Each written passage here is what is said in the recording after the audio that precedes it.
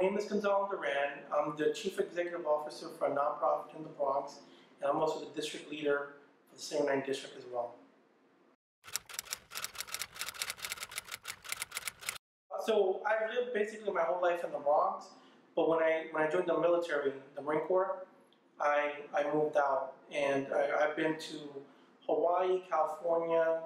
Um, I had a, a tour in Iraq, and I finished off back in New York City and Long Island. Um, but I've always considered myself, you know, the, the Bronx and New York City my home.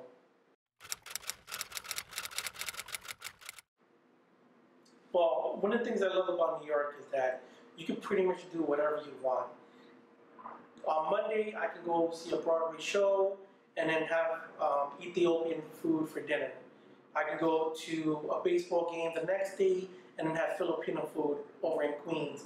Then I can go over to a museum in Manhattan and the next day have uh, you know Indian food in in, uh, in Brooklyn.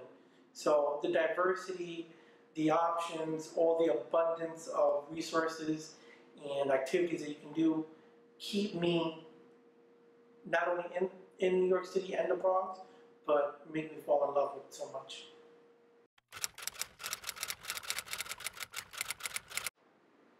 You know, one of the great things about New York City is the transportation system.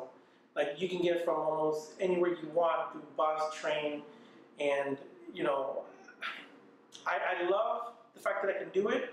I, I'm okay with the price it is, but I don't. I'm not crazy about the service, um, you know, the crowdedness and the unsafety, you know, the safety problems that we have um, in the with the the New York, you know, MTA system.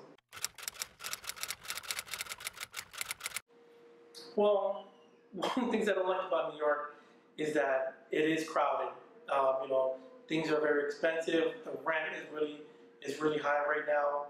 Um, the reputation that the Bronx has has always given me like a little bit of a you know chip on my shoulder.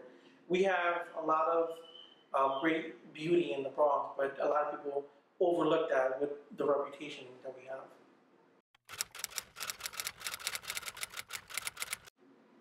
Well, if I go anywhere in the world and money wasn't a problem, I'd say I would visit, you know, the first stop would be somewhere in Europe. Where in Europe, I don't know. Um, but I want to make emphasize on the visit. I, I don't mind stepping out of New York City for time to time, but my love for New York and the Bronx trump it all.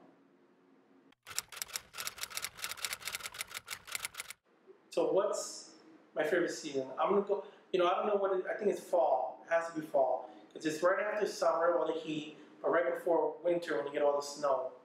And then during that time period, you can wear like like loose sweaters, relax, be more comfortable, and the activities that you want to do outside and inside is like right on the on the scale of of being able to do it. So like we could go play basketball outside but at the same time, you want to go have hot cocoa or and some and a, and a croissant in a cafe, it's okay and normal, you know.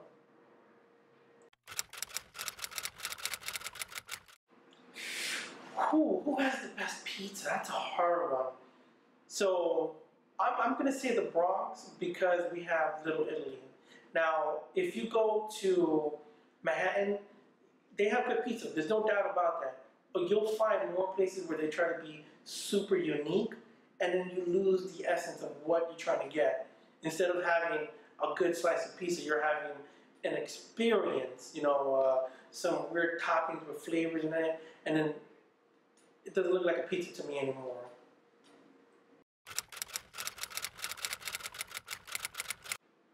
My name is Gonzalo Duran. I've been a lifelong Bronxite and I don't plan to leave. So I'm home.